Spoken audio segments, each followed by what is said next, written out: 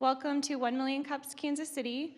We are a weekly entrepreneurial program where we host two presenters and they get up and present for about six minutes and then we open it up to the audience for q&a if anyone has a question this morning for the presenter please raise your hand and we will come around with a mic. Uh, my name is courtney. I'm one of your community organizers along with milton this morning. We are a little light on the organizing team but we're going to make it um, so first of all i'd like to introduce our expert panel grant I'm going to start laura Hi, my name is Laura. uh, morning, my name is Grant Gooding. Um, I've founded a little marketing company here in town called Proof Positioning, where we help entrepreneurs take the guesswork out of how to position themselves in the market by utilizing consumer insights.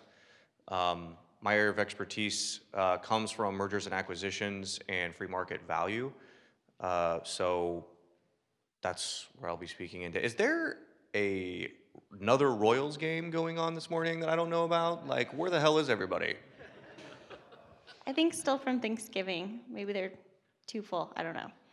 Hi, my name is Tommy Saunders. Uh, I have a fitness company, startup fitness company, developing two fitness products, integrating technology, um, and, and just uh, an entrepreneur. So I've made a lot of mistakes, and so that's kind of where uh, I've learned uh, growing my company. So, thank you. So our first presenter is returning as an alumni today.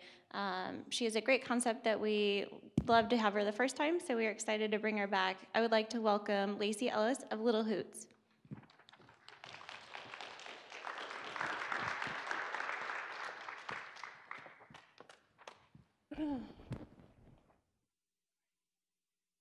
Well, hello, good morning. Um, first, I'd like to say thank you for having me back today. It's really exciting to come back and present um, almost a year later. Actually, I was talking to a friend about it last night, and it's been a little more than a year since we presented the first time at 1 Million Cups. Um, my computer just went to sleep. and um, it, it was kind of cool for me last night to, to think about how far we've come in one year and to think about what I'm going to talk to you guys about today. And um, really, what I would like to communicate in this presentation is where we've been, the progress we've made over the past year, and some lessons learned along the way. Um, it's been such an incredible journey. It feels like it's been five years and it's only been one year. so um, I've put together a few of those lessons that we've learned, and I'm hoping that they'll provide some inspiration for anyone in the audience who's an entrepreneur, especially an entrepreneur that's just starting out. And then I'd like to talk to you a little bit about where we're headed in the future. So this is my son. This is Jet. This is from one of our recent photo shoots. I just kind of wanted to start out with, with this photo um, because this really reminds me of our purpose. Um, what we're all about at Little Hoots is helping parents keep memories. Um, it's those little things that your kids say on a daily basis that are just fantastic, and you want to remember those things, those special moments that you never want to forget. Just a, a, little bit more background on who we are and what we're doing. Right now, we have an app on iOS that helps parents capture these quotes and conversations with their kids. But what we're really building and what our vision for the company is in, our, in the future is a memory keeping platform so as we move forward, Little Hoots will be the place where parents keep all their very best memories. Sorry about that. I'm going to stay over here in case that happens again. So here's one of the first lessons as I was kind of thinking through um, what would be some interesting points to talk about today. Um, get scrappy. Find a way and be creative. That's something we've really had to do over the past year, is just find any way we can to keep moving forward and stay true to our vision. Um, so that really came to life for us at the beginning of this year around February when a story about one of our kiddos went viral. Um, we noticed when we had only about a thousand downloads, and this was not long after we presented at 1 Million Cups last year, this little girl named Greta. And we saw her quotes coming through, and they were hilarious. And so we decided to tell her story. Um, we posted it on a few sites like Bored Panda and um, just tried to get it out there. And before we knew it, I had someone from the startup community calling me and saying, Lacey, I think you're number seven on Reddit. and I was like, What? Tell me. And he said, Is this you? And I said, uh, Yeah, that's us. That's, that's, Miss, that's Greta. Um, and before we knew it, we were on the Huffington Post, and George Takei was posting about us, um, Zooey Deschanel, and then eventually we were on um, TodayShow.com, Pop Sugar Moms. A lot of people picked it up. It was really successful for us, and it was really just a result of us getting out there and being scrappy and figuring it out. I'm sorry, I don't know why this keeps going off. Um, and then another thing we learned that I think is really important is, you know, when you're first starting out, you're going to meet with a lot of people that have opinions and a lot of people that have perceptions. And for us in particular, I think a lot of people that we talked to in the beginning sort of saw Little Hoots as this cute idea. They saw me as this mom that has this cute idea, and that was the perception of me. And I had to be really careful not to let that define me because Little Hoots is a cute idea, and it is something that um, is kind of warm and fuzzy, and it's um, something that moms use. But it's a huge opportunity, and we truly believe that we are redefining memory keeping for a new generation, and we're just scratching the surface. We have um, over 50,000 downloads today on iOS. We're not even on Android yet. Um, we don't have our desktop launched yet. There's a lot of things, a lot of opportunities that we haven't even um, delved into, and we have tremendous traction. So what's really exciting, I think that, and one thing that I've learned is when you are an entrepreneur, you have a vision, and you really have to stick with that vision, no matter what people say, no, no matter what that perception is, um, or what those challenges are that you that you come up against. And then another thing is, you know, we've had this fantastic opportunity to listen to our customers and just let them guide us over the past year as they've downloaded the app and started using it and they've started asking us you know we have we have a vision for what this platform is going to look like in the future but they're specifically asking us for android on a daily basis. Just this morning i had someone post on instagram um, can i please have this app for christmas? I'm waiting for it on android. I just want to use this app so bad. Um, so android is the very first thing that we're going to knock out as we move forward. Um, people want easy ways to buy books. They're creating all these memory tiles and they're very display worthy and they want them in books. Um, people want ways to keep more memories and a private place to share with friends and family. Today, there's a lot of privacy issues, as I'm sure you're aware of on Facebook, especially with children's photos. And so people really want that dedicated space for memories. And then our design packs are a huge part of what really set us apart and make us different. People want more of those design packs. So as we move into the future, we'll be developing more of those and offering more of those as in-app purchases. And then um, just more ways to engage. we will be developing some marketing systems. And I think what the, the big point is here is that this is what users want, and we're really doing our best to listen to that and to work that into our roadmap moving forward. Um, so this year, actually, just last month, we were able to launch some new products, and I just wanted to share with you guys. We have these little accordion books. Um, again, back to the point of getting scrappy, we don't have a way yet developed for people to actually um, get online and create these books instantaneously, but we just decided that we were going to have people email us their little hoots and create these books for them. So for the past 30 days, we've been running this campaign, and we've had um, tremendous outpouring of people ordering these books, and Eric Disney and I are sitting at our computers, and we're just creating these books for people because that's what we can do right now. Um, these are some of our other products that we'll be launching this week, actually. Um, some pillows and t-shirts and ornaments. Again, these are things that our users are asking us for. Canvases, ornaments, uh, pillows, all kinds of really fun things that we've just learned over the past year that users really want. Oh gosh, sorry guys. Okay. All right, and what, another thing I think is tremendously important is to know your why. Um, being an entrepreneur is really hard, let's face it. I think most of you in this room know that. and what's really kept us going on a daily basis is just what we believe in. We believe that keeping memories are important. Um, we believe that it creates stronger connections um, in, those relationships in our lives that are the most important. And on a daily basis, that just really keeps us going. And we have our goals and our strategies that are tremendously important, but at the end of the day, knowing our why has really helped us. And to just keep moving forward, a big piece of what um, we've been going through this year specifically is fundraising. Um, and for me, my background is in design and art direction. Um, so fundraising in the business side of this has been a huge challenge for me, something that I've had to learn and really rely on advisors to help me with. Um, and we've been successful at raising the funds we need, which is very exciting. But at the same time, um, it really takes a lot of determination on a daily basis to just keep moving forward. I don't know why it's doing this, I'm so sorry. And then, I think we missed a slide. Surround yourself with smarter people. Um, this is a really, really important one. Do whatever it takes. I think this is, this is probably the most important thing.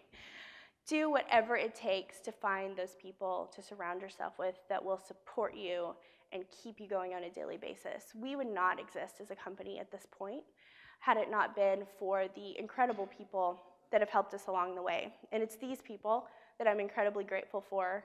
Um, fantastic advisors and co founders that have relentlessly poured in their blood, sweat, and tears to make Little Hoots a reality. Um, I would say if you're a beginning entrepreneur, do whatever you can to find these people, surround yourself with them. You can't do it without them, and you don't want to do it without them. And my last point is to have fun. Seems pretty obvious, um, but it's hard because it's very stressful. But it's important to find ways to have fun. And on that note, I want to share with you all a video. It's um, one of our favorite things that we have started to do recently, and it's also just a really good example of some of the um, fantastic little hoots that our users are sharing with us. If I can get my computer to work here.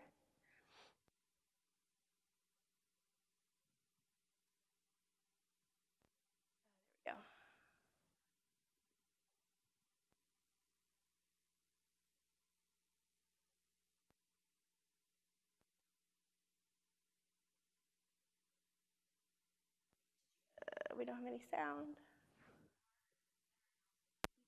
We used to have some.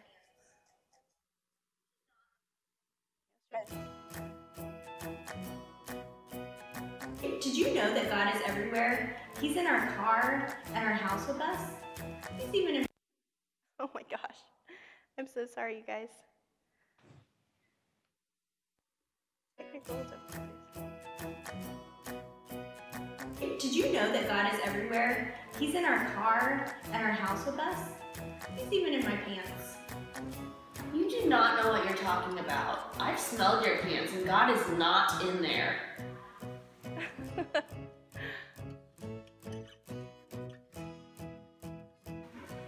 Tweet, tweet, tweet, tweet. I'm a baby bird, and my name is Rutabaga. Oh gosh. I'm so sorry. Come on, come on.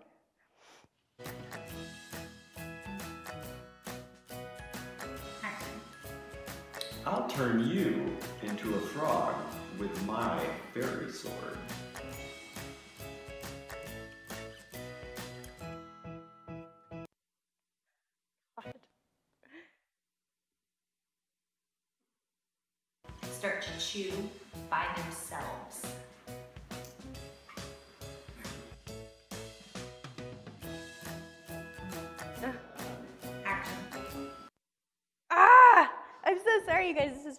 Frustrating me.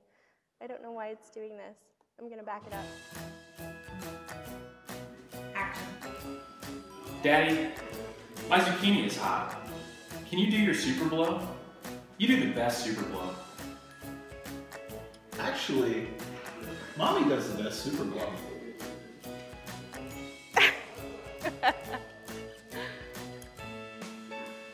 Tweet, tweet, tweet, tweet. My name. it's so Ridiculous.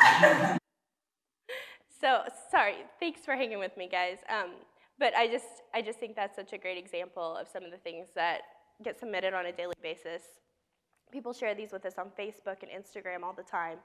Um, and they're, they're just absolutely hilarious. Those are all real. We made none of those up. Those are all absolutely real quotes that come from kids on a daily basis. And I know I've gone over my time, so thank you very much for having me um, and listening to my presentation.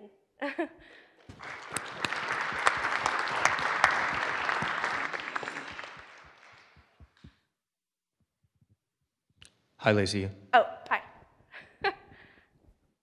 I love how you chose to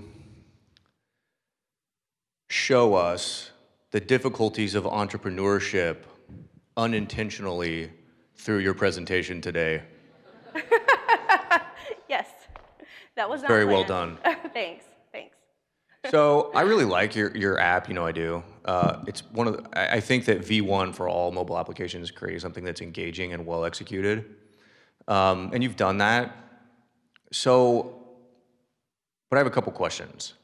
So you've got 50,000 users, and you're starting to build out kind of a breadth of products.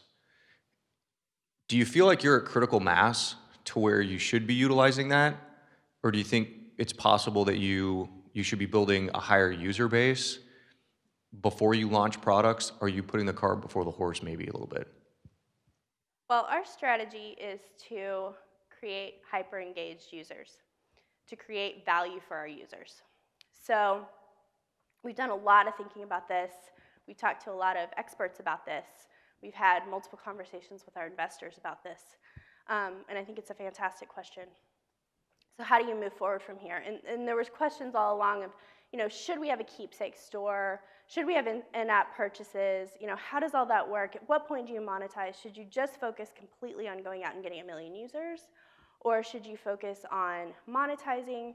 And so where we've landed with our strategy is very specifically to create the hyper-engaged user. So for the next 18 months, we're going to build out our platform.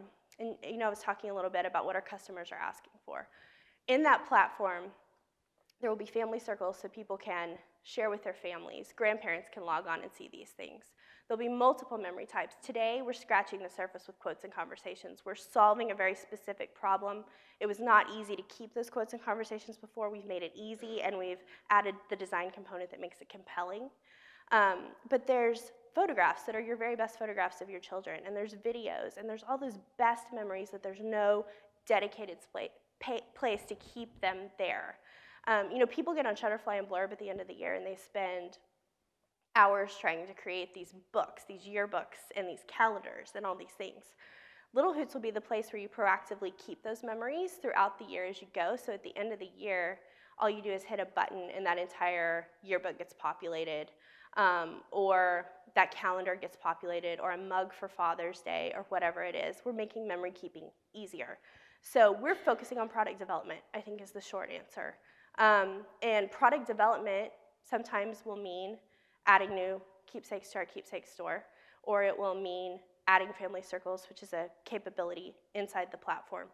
But we've chosen to be very intentional about building this for the customer in a way that it makes sense progressively for them to start using it and integrating it into their lives. Does that answer your question? Y- yes. So my follow-up to that is, the, you have a unique product in the market in that, like, I, I believe that what you can own in the mind and in the market is the mobile application you use when your kid says something funny. Yep, I agree. And uh, all of the things that you said beyond that almost negated. You said like, well, yeah, this is really what we do, and this is what has got us to this point. But we're going to do all these other things that aren't that. And and so the, uh, that that that would be my only kind of follow up. Like, Okay. make sure you know who you like. I know you're a good visionary, you're a great visionary, but it's easy to get off course, and when especially when you're on the right course, I think.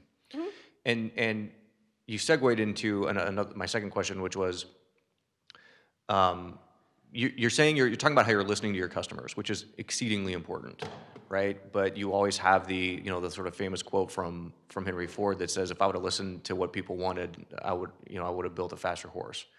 And, and so how, how do you plan on, um, how do you plan on overcoming that in order to, instead of, because if you listen to people, you're going to get incremental improvement, right? And when you have incremental improvement, you can't do anything great. I've probably learned my best lessons from that working in advertising. Um, you know, focus groups are a big part of advertising when it comes to campaigns. And we would consistently have focus groups, get feedback on creative concepts, and it was fantastic.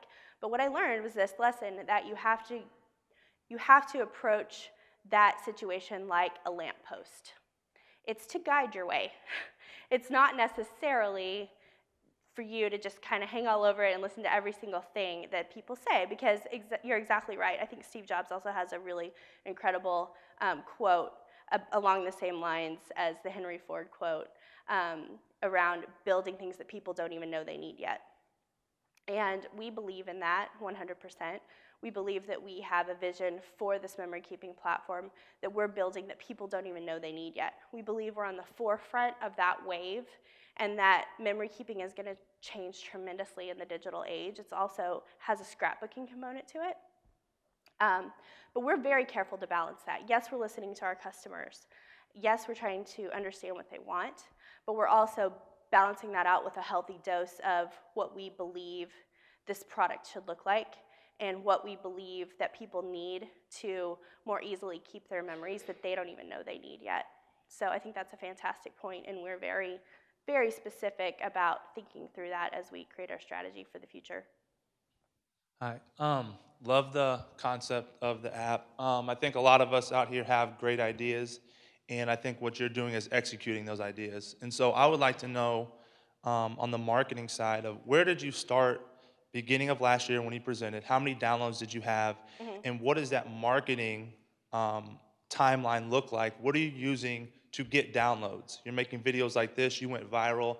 How many downloads did you see from going viral, being on all, those other sites? Um, what are you doing to uh, engage with people on getting to actually download it? What is the marketing strategy of getting them to use it on a daily basis? How many people do you have using it daily?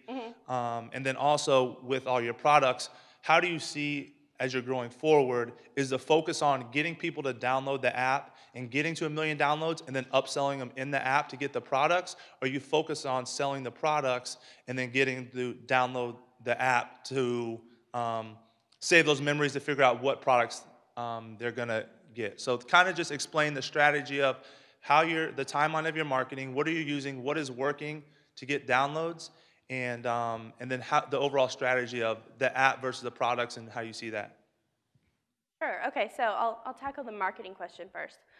So, when we developed this platform and we decided to start very strategically with quotes and conversations, we did that on purpose.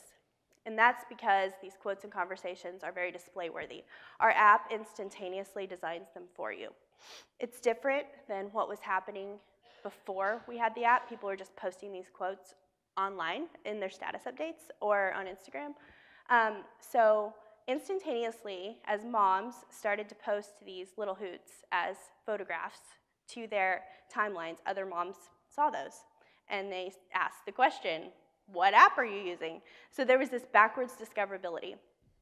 So the design piece was important for that, and we built that into the product.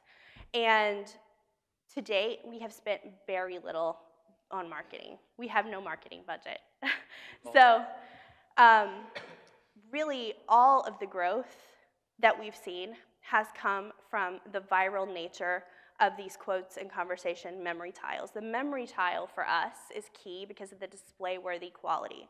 Um, I really think that had a big part in helping the Greta story go viral. You see it on Instagram continuously. Um, people will post these on their Instagram feeds. Other moms see it. And I say moms because we are um, primarily targeting moms. Dads use it too. Um, but for the most part, it's something that moms are doing and moms are using.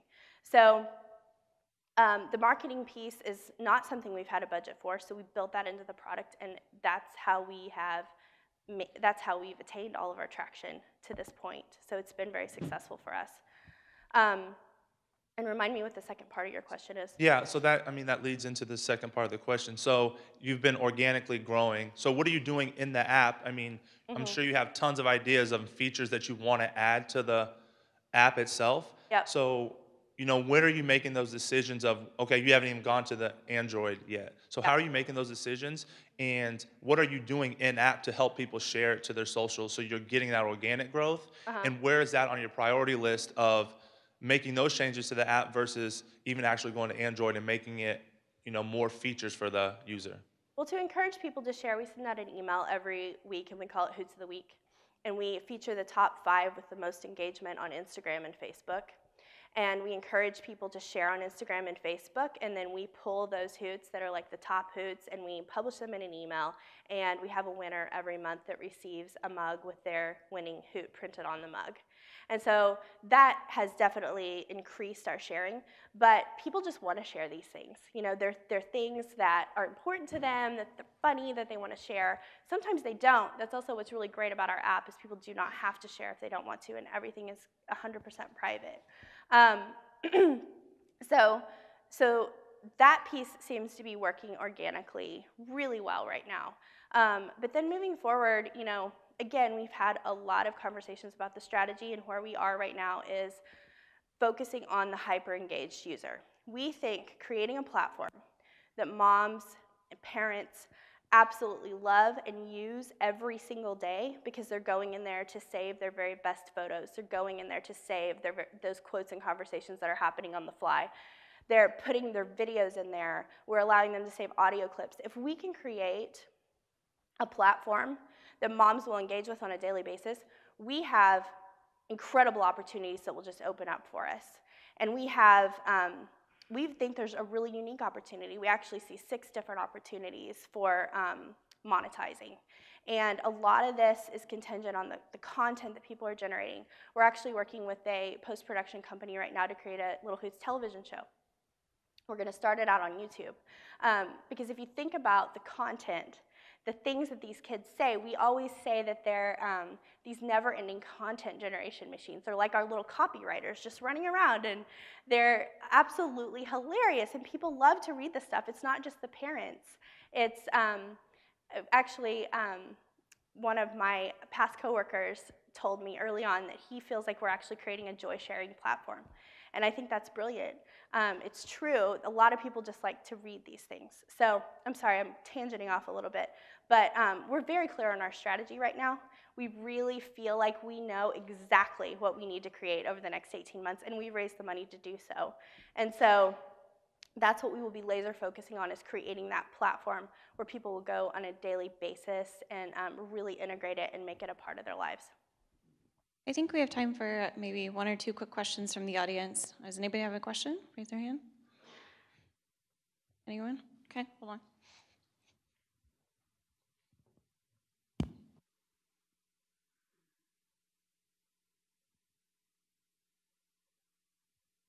Thank you. Very nice. Um, quick question. You mentioned content.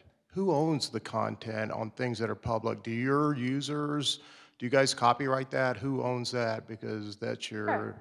Um, the users. The users own the content.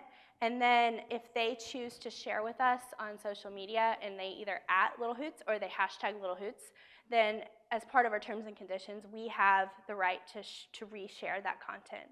And then if we ever use it for the purposes of a television show or things of that nature, we reach out and get very specific permission from our users, especially as it relates to photographs of their children. Um, so we're very careful about privacy in that regard.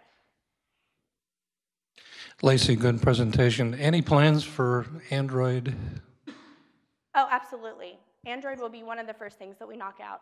Um, the beginning of next year, and we're asked for it on a daily basis, so we're very excited to launch on Android.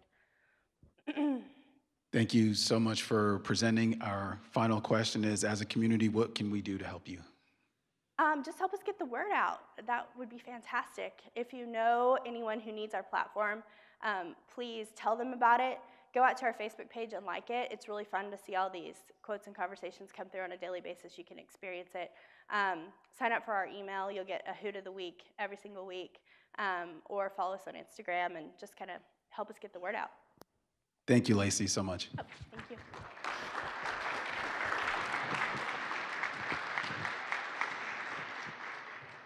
Just a couple of quick announcements, but first, before I do that, I'd like to see a quick show of hands. Who's here for the first time today? All right, well, welcome. I don't think we welcomed you in the beginning, but welcome for welcome to 1 Million Cups. Also, who has been here 10 times or more to 1 Million Cups? Let's see your show of hands. All right. Laura, would you like to tell us why you're here and why you come to 1 Million Cups and what you do?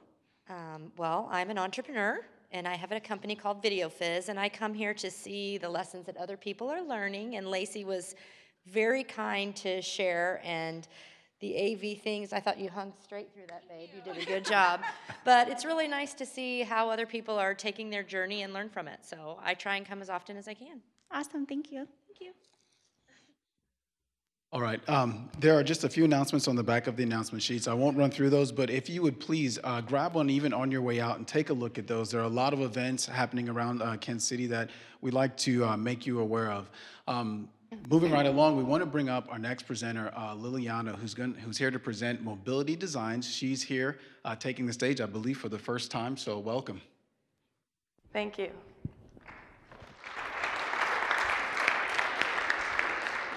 Thank you, and thank you for inviting me. Um, I, you know, I put together this presentation really quickly, so I'm sure I won't do as well as Lacey, but bear with me. I'm Liliana Younger, and my company is Mobility Designed, and it's a medical device startup um, where we focus on creating pain-free mobility aids for people with uh, walking disabilities. I want to share with you guys a video that we put together for a crowdfunding campaign that we're currently running. And it explains our why. It explains you know, who we are and what we're why we're doing this. And um, it also shows you the product. So here we go.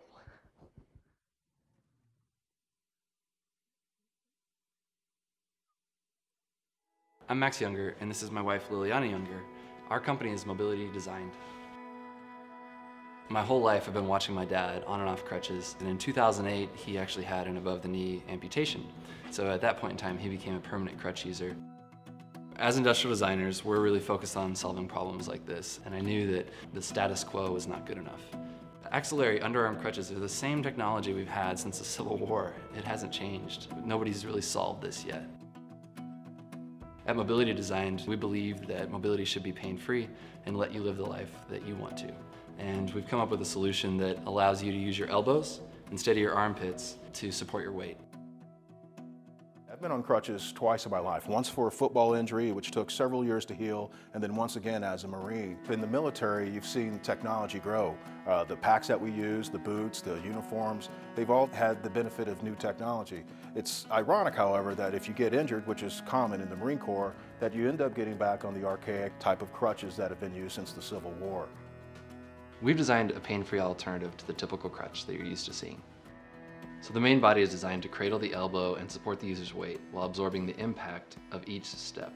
The arm and leg are adjustable for someone that's 4 foot 7 all the way up to 6 foot 8 in height. The flexible arm straps make it easy to get in and out quickly. The cradle unlocks so that the user may reach up or down while still wearing the crutches. The handle rotates out of the way for hands-free walking. The feet are interchangeable and with a push of a button you can easily replace the standard foot with feet designed for snow and ice, sand, or even for athletic use. This crutch was originally inspired out of the needs of permanent crutch users, but it also works just as well for a temporary crutch user like a sprained ankle.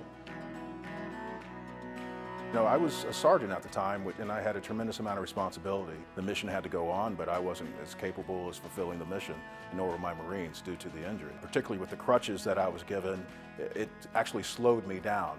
We wanted our campaign to have a greater impact, so we partnered with organizations to donate crutches to veterans whose lives can be improved by them. The hope we have for our company and this product is to really have an impact on people's everyday lives and allow them to live the kind of life that they want to live. If you've ever been on crutches or know somebody who uses them, you know how painful they can be.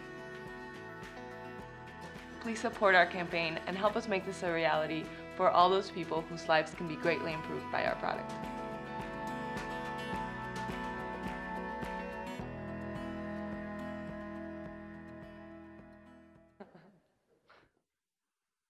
Levity.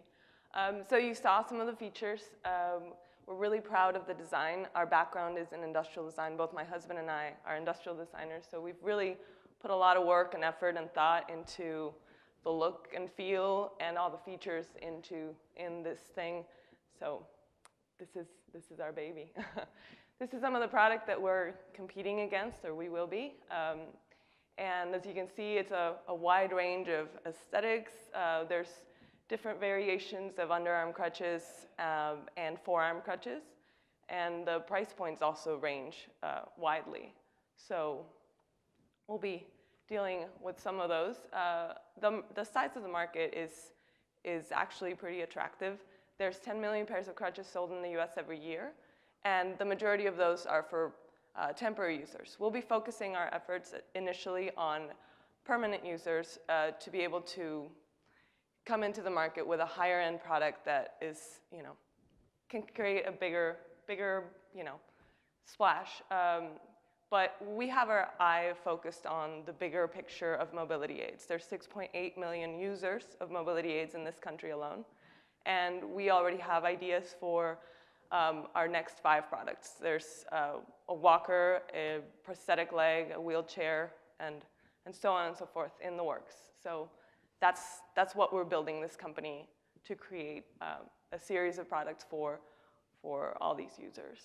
Um, as far as for our first product and the marketing strategy that will you know, kind of guide us as we go forward, I should say we are in product development phase. So we're not yet selling, we will be. And like I said, we're doing a crowdfunding campaign currently. So that's kind of our pre, pre-launch.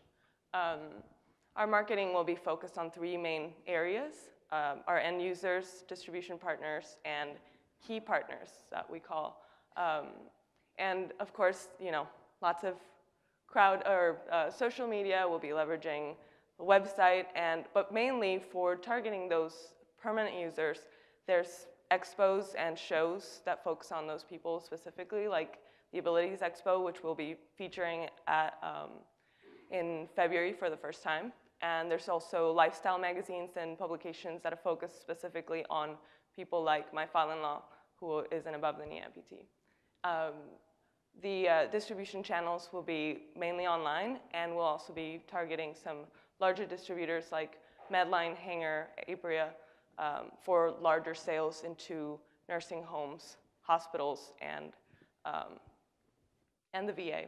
Um, and our key partners are also very important to our overall uh, marketing strategy because they'll be the ones that help us get this, you know, product in, in front of the people that need it, right? So doctors, PTs, OTs, or physical therapists, um, occupational therapists, and interest groups like the VA, or uh, yeah, the VA and the Wounded Warrior Project, things like that. So that's a little bit of what we uh, we're planning as far as marketing, and we've begun.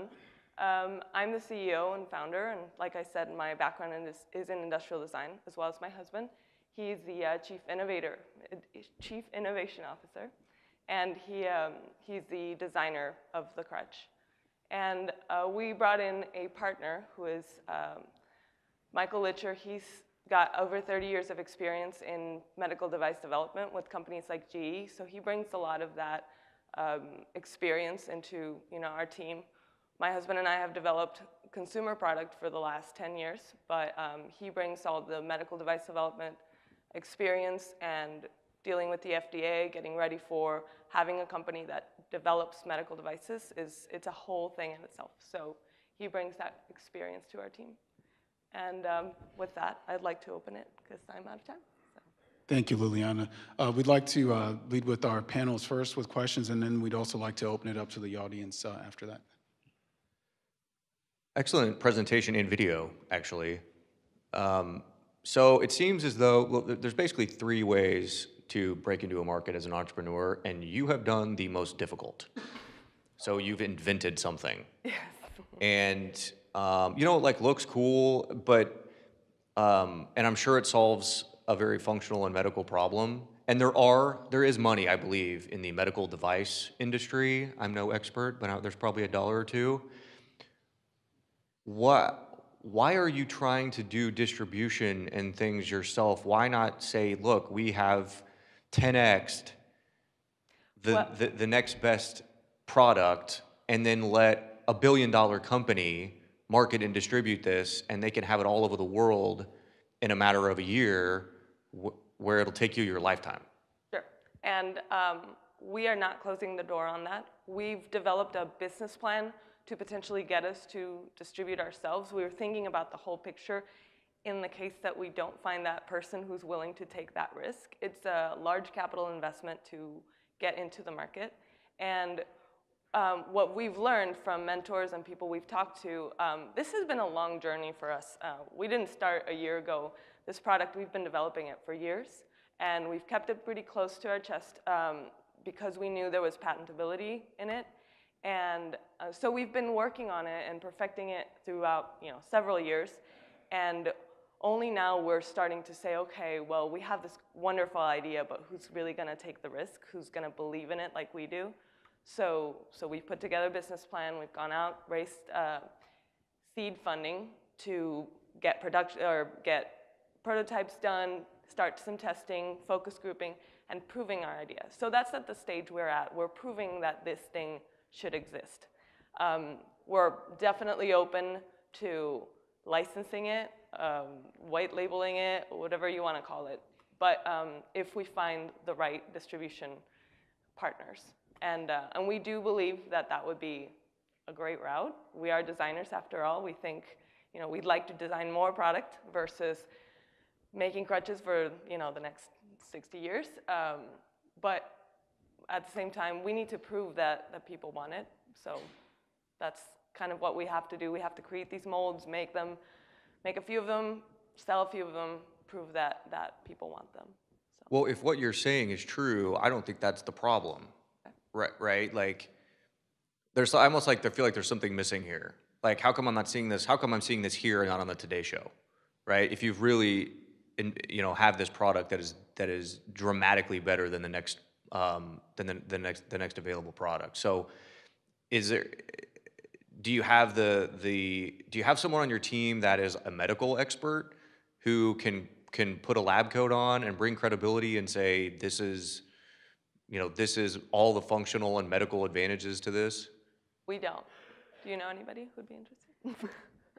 i mean a doctor i mean there's doctors of course. And like find that doctor i mean like there's something there's a there's something critical missing here because this should be taking off with sort of an exponential curve and for some reason it's not right. well, it's not in the market yet, so it's not taking off. Okay, and then the last thing I'll say is, can you talk about what you're currently doing from a manufacturing and distribution? Uh, you went, you did some detail in distribution. Thank you for that. As far as the plan is concerned, talk about your manufacturing process. Manufacturing process is still also in a plan. We're we're um, what you saw in the video is a prototype, so it's like a single prototype that we have, um, and our plan right now we're getting quotes back from different companies in uh, overseas and nationally that are quoting the tool. The tool is, you know, the multiple tools required to make this um, uh, amount to hundreds of thousands of dollars, or yes. Um, and, um, and so we're really being cautious into making that first gigantic investment. We want to make sure that, you know, the people that need it really love it. And so part of it is this crowdfunding campaign will allow us to do that first production run and um, get it in the hands of people to use it and tell us what they think. So it's hard to do like a large scale trial or study with a single prototype. And, um, you know, it might seem crazy. It's completely different than developing an app where, you know, you can instantly distribute it to, you know, thousands of people. Um, product development, especially in some like, like large scale manufacturing is takes a lot of time. Yes, it's a monumental undertaking for sure. Hi, uh, love the product, love the presentation. Um, I want to talk to you afterwards because I have a manufacturer in China that can help. But um, all the points of pain that you're saying is the same thing I went through. I did the same thing with tooling costs. You got to spend $500,000 before you sell one unit yep. uh, in tooling and production costs. So I get it.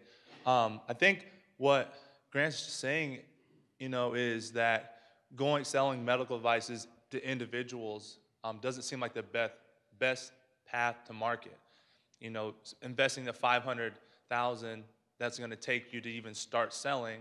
Um, I think that's what he's saying. So, um, kind of explain, you know, how do you see, you say you have five other products. When do you see the starting development on those?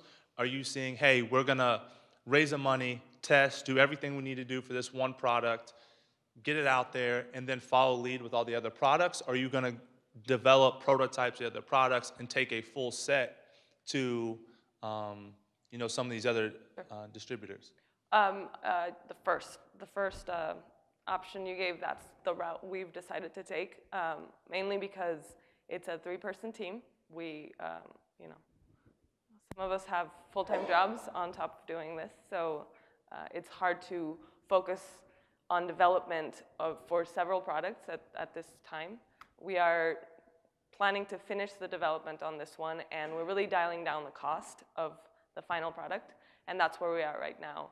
We, uh, we know that it's much, it's a much better route to go like wide distribution, uh, but we do need to get the price down before, you know, it's attractive for a large distributor to, you know, take it out to the masses.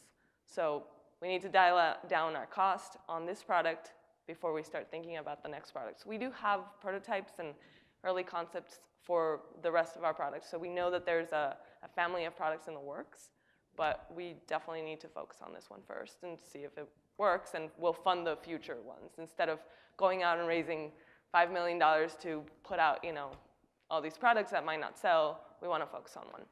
Yeah, uh, I understand that because nobody's going to talk to you unless you have an actual physical product. They're not going to negotiate with a prototype. I've Right. been there. So, what is a what is the next step? Uh, are you spending time going to pitch at events like this to raise capital? Are you need development? Or what is your biggest um, point of pain in this development that's going to cost a lot of money before you start selling?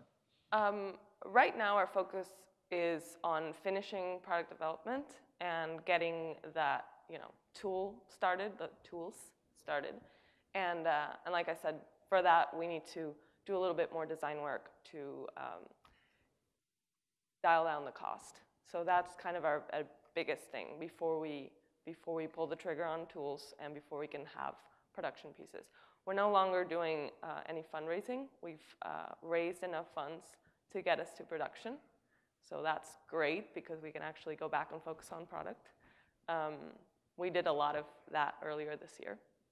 And um, so does that answer your question? It's, it's mainly finishing the product, getting it out there. Um, and we do have a couple of trade shows that we'll be attending uh, with, with our first production pieces and, and trying to get those large distributors. Um, we had a great meeting yesterday. Hopefully that'll lead to some large distributors picking it up. So yeah, we're a lot of um, background or behind the scenes work that's not very Instagrammable.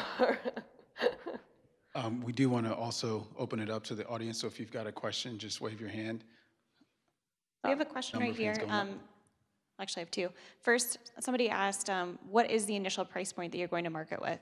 That's an awesome question because last week I would have answered one way and this week it's a different one. So I would love to talk to you about that actually. Um, we are thinking uh, $150 is our goal for, for the consumer. Okay, here's the next question. Uh, Good morning. My name is Holmes Osborne. Um, I- I apologize if I missed this. Did you say this has been patented or there's, co- it- it has been patented? We have a provisional patent on it, yes. Okay. And Uh, I I think 150 bucks is way too low. I think it's worth a lot more than that. And um, don't listen to the expert panel. I think you're doing th- the right thing. The way, the way that you're doing it is perfect because you need to have a tangible product and sell this baby off to Johnson Johnson for 50 million bucks or something like that. So keep doing what you're doing. I think you're doing great. thank you. Got a Holmes, question? that is what the expert panel said.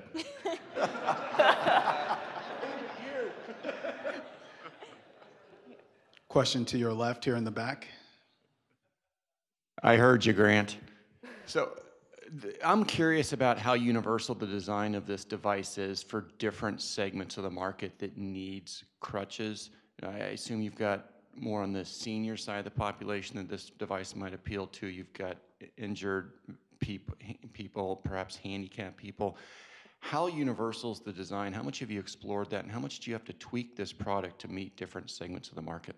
Uh, that's a great question. Um, we would like, well, our goal is to make it basically anybody who would use underarm crutches cannot for this, trade up for this um, because it's pain free. That's our main claim. And um, as far as is it perfect for everybody? No, nothing is perfect for everybody. And we learned that early on as we started doing focus groups with our early prototypes with uh, um, physical therapists and occupational therapists. They're the ones that specifically they said, you know, this is not going to work for somebody that has a certain, you know, condition where, you know, the elbow, blah blah blah. I mean, there's in medical needs, it's just every person, you know, is very specific. So our goal is to just try to capture as many people as possible, but realistically, we know it's not going to work for everybody.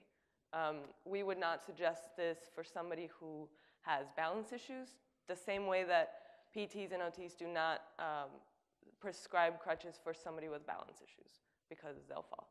Um, so we've talked to doctors who say, you know, I don't prescribe crutches at all. They're too dangerous. I just go straight to a walker. That's what he wants all his patients on. That's, that's fine, you know? In the end, we've seen that um, crutches are kind of a consumer product. So they're a medical device regulated by the FDA, but you can buy them at Walgreens, you know, yourself. You don't need a prescription. So the, the consumer chooses, the doctor prescribes and um, recommends. So it's, it's a difficult thing to please everybody. Um, we are finding that out as we, as we focus group. So yeah, we don't know yet. We don't know how many, how many people will adopt. It's a, it's a hard thing to know. Question in the center. First of all, as a recent crutch user with sore armpits, this is Oh. rather exciting stuff. Um, have you considered investigating the, um, the medical device requirements for overseas, whether it be European, Asia Pacific? And the reason I bring this up is you're getting ready to start heading down the tooling path, and often it's easier to globalize the product up front versus getting the tooling done and then turning around and having to make some small, very expensive tweaks so you can sell it in Europe. Um, yes, and I'm glad you bring that up. It is one of the many considerations before we go to tooling, and hence the long period of time that it takes to get there. Um, we are uh, designing based on ISO, and I sorry I don't know the numbers. That's my my engineers know that stuff, and they're the ones that should know. Uh, for CE uh, regulation approval. So just like the FDA here regulates medical devices in Europe, it's um, I don't know what the right name is, but I know the symbol is CE, and we need that to sell it over there. So we are planning to uh, attain that that um, certification, and we're engineering towards it. So Question here in the middle. You say you have the funding already to, to provide for manufacturing? My next question, well, well, my question would be, have you been to Walter Reed Hospital? Have you Uh, been to the VA centers, the VA center here? 'Cause I, I I see this as a, a wonderful device. Thank you. Yes, we have uh, engaged the VA early on. We had some early prototypes, and they were very interested in doing a clinical trial. So that is the path I think that will um, that we'll take with them. We have to have a significant number of units to you know start a clinical trial, and we also needed funding, and we engaged them early in our process when we didn't have that clear path towards it. Um, it is a long process to get any kind of contract with the v, with the, the government, and we've been told we need to be selling for at least two years before we get a government uh, contract. So it's in our it's in our plan. It's not going to happen soon, but um, but yes. And as far as Walter Reed, yes, we, one of the the our partner organizations that we're working with uh, through our Kickstarter campaign is uh, it's called Fish, and they have really close ties, and they, they cater to veterans. Um, they're taking uh, donated crutches that people will back through Kickstarter and donate them to um, veterans that need them. And they have a close relationship with um, people at Walter Reed, and, and so that's also in the works, in the plan. And once we have those production pieces, then we can, we can start, you know, calling on all those people that are interested in seeing it. Unfortunately, um, you know, we don't, we're not there yet. Question in the back? Hi. Um, first of all, I thought it was a nice presentation. Um, as I was listening to the expert panel, um, I had an observation. This is more of an observation than a question, and that is that um, you're at a point in your company's growth where you're really a different company than the company you started. Um, you started as an idea company, as a concept company, and you're really on the verge of transitioning to being an implementation company. And it seems like that's where, you know, it's sort of, you know, a rough patch, you know, going through that transition. I mean, you've got the product, you've got the idea, you're getting the certifications, but now you need to actually get it out there. And, um, but your, your staff, and, you know, it's a small staff, it's a startup company, isn't focused at all on the implementation part of, um, you know, getting this going, you know, into the next step. Do you want to answer to that? Uh, question up here, actually. okay. Uh, first off, I have to say, I think this is really cool. It looks cool. Um, I have a friend who's an amputee, and he uh, opted to go for a more expensive uh, prosthetic because uh, he could get it in carbon fiber. Uh, have you thought about customization options uh, for that, that white piece and other pieces as well that you can sell uh, as like add-on accessories? Yes, definitely. We've thought about that a lot. That's actually like kind of stuff that gets us excited because we are designers. Um, we have thought about it. We've thought about, we actually started down a route of prototyping in carbon fiber. Um, you know, that didn't go great because unfortunately there's like, you know, six people around the world that do this really well and we found one that wasn't very good. But, um, but uh, and you know, the, the, other ones are really expensive. So that's something that we'd love to do down the road. Uh, we do have a more accessible way of, um, of doing some personalization on them, uh, uh, adding pattern and graphics to the, the main body, which is something that we're, we're definitely planning to do when we go into production and offering that as a plus up. Uh, there's there's add-ons as far as accessories that we have planned for.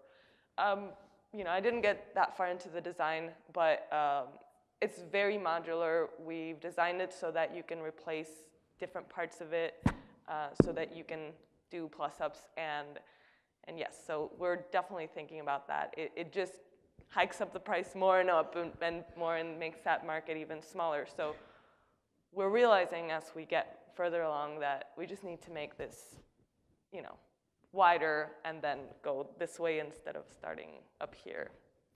And we're really realizing that as we go. So it's, it's a process for us. Um, one other, can you explain to everybody about if anybody's trying to develop a product, because I went through the same thing, is that how no investors are going to talk to you until you have a prototype, and how no businesses are going to talk to you until you have a manufactured product. Can you please explain that process? And people are like, okay, that's great. Come back when you have a production part, and then all the other stuff. Can you just kind of just touch on that? Sure. So yes, uh, like Tommy is saying, it, it's very true. Um, when you show anybody anything on paper, they're like, great, so, you know, show us something. And hence the prototyping in our house, in our basement. Luckily, my husband and I are pretty handy and we can make things with our hands. So our first prototypes were, you know, like PVC tubing, and then the second one, or the next generation was welded aluminum and, and steel, and then the next one was a 3D printed one that we actually you know, paid for ourselves. It was really expensive, but we had it painted and it looks really nice and glossy, and it's right there. Um, and so we've, we've gone the route, um, and it's taken you know, all our savings and you know, everything like that to get to something tangible that we can show people. And then it comes to, well, let me try it. Well, no, no, that's like our only prototype. Like, please don't break it. Uh, so then there's that part. Okay, we really need to spend another 20 grand in a prototype that people can use. Okay, so we've done that. Um, and all this time, you need people that will believe in a piece of paper. Uh, luckily, we have, you know, family and friends that are that believe in us, that believe in the idea, and that have uh, have uh, funded our our early, early, early stages. Um, and then, you know, now we're finally at a stage where we have we're that this close to having a prototype that is like just like the production part. But this is many, many, many, many, many thousands of dollars in. And it takes uh, a lot of time if you're doing it yourself. Uh, and, and yeah, people won't talk to you if you don't have a prototype. We're at that point where it looks really real and people are like, okay, give me, give me like four sets so I can like, you know, show them to people and and we're like, ah, that's our only set. And it cost us like, you know, a lot of money, and we really don't want to leave it with you overnight, but we really want you to say yes and, and buy it. it's a very difficult road for a startup with, with product. And I've seen Tommy's product. Your tool was also very, very expensive. Um, so yeah, it, it is a long road, and, and it just requires you to really think that you have something. And before you pull the trigger on that, you know, many hundreds of thousands of dollars, you have to be sure that somebody's going to buy it. Even if it's this route that, you know, like two or three people before, because even the distributors will say, you know, show me a market, you know, and, and when you're saying, yes, this product is better, but it costs twice as much or three times as much as the Walgreens crutches, you know, they're like, well, you know, start selling them and then come back and, and show us your numbers. You know, that's kind of the, the process. One final question for you. Uh, what can we do as a community to help you? Oh, well, that's easy. Go to our Kickstarter. We're 20 days um, from our, you know, the end of the campaign, uh, and and mainly what we want from it is to get the word out, to let people know that, that this product is, is coming, and uh, to reach those people that, that will need it and will be looking for it. Unfortunately, it's a time issue, so there's a lot of temporary users who reached out and they're like, I love this, I want this, I'll have surgery in December, can I get one? No. So but we want them to know that it will exist so that when all those people that don't know now that might need it sometime, that, you know, so share it. Um, go to our website. That'll take you right to, you know, Kickstarter, and it's mobilitydesigned.com. So. Thank you so much for your presentation, Thank Lilia. You.